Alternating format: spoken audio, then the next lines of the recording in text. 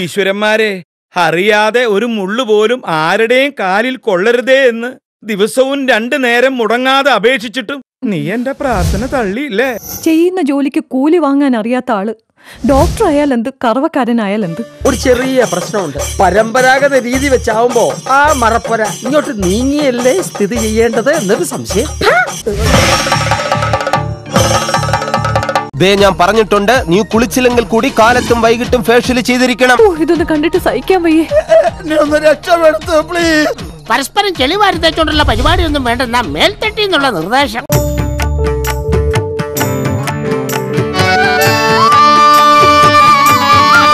മാല നീ ഇട്ടോ? പക്ഷെ ആരോടും നമ്മൾ വാങ്ങിയതാണെന്നൊന്നും പറയാൻ നിൽക്കണ്ട.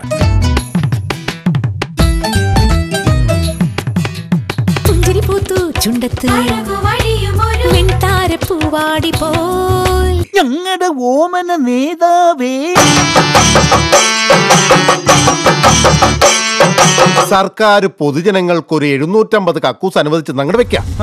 അതിലൊരു അഞ്ഞൂറ് കക്കൂസ് പിള്ള സാറിന് അങ്ങോട്ട് തരും. എന്റെ ദൈവമേ എനിക്ക് എന്തിനാ അഞ്ഞൂറ് കക്കൂസ്?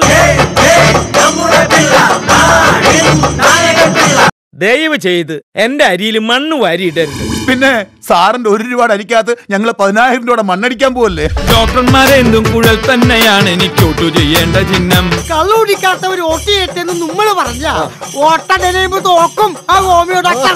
കുടമെന്ന ചിഹ്നത്തിൽ നിൽക്കണൊരാളിവൻ നമ്മുടെ നാടിന്റെ തങ്കക്കൂടം. എന്താ ചിഹ്നം? കുത്തുവിളക്ക്. ചന്തു ആരോമലിനെ കുത്തിയ ആ കുത്തുവിളക്കാണോ ആരോമൽ ഉണ്ണിയേ ചന്തു ചതിച്ചത് കുത്തുവിളക്കിന് കുത്തിയല്ലേ? ഞാനൊരു ഡോക്ടറുടെ ഭാര്യ. എന്റെ മകൾ ഡോക്ടറുടെ മക്കളാ. ഞങ്ങൾക്ക് ആ അന്തസ്സിലും അഭിമാനത്തിലും ജീവിക്കണം. അവൾ ഡോക്ടറുടെ ഭാര്യയല്ലേ?